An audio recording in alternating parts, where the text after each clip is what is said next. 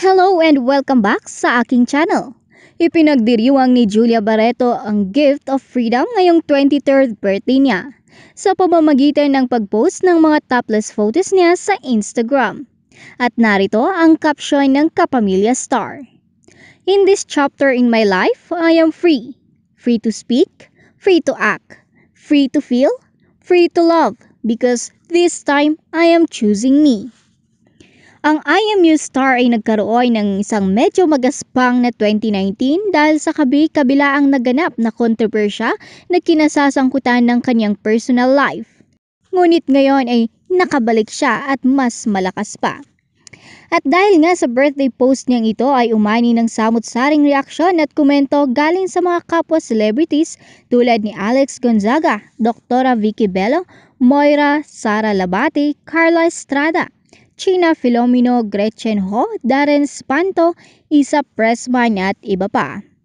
Narito ang kanilang komento.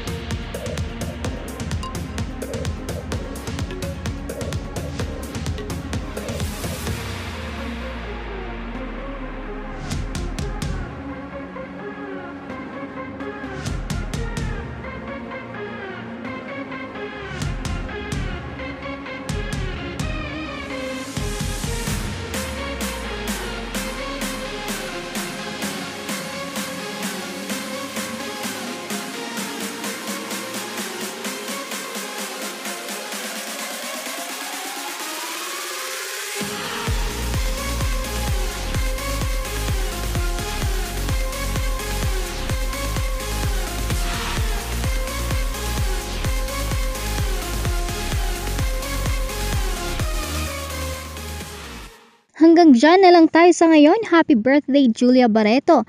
Maraming salamat sa panunood at kung nagustuhan nyo ang video ito ay huwag kalimutang mag-like, comment, share at subscribe para sa iba pang kaganapan.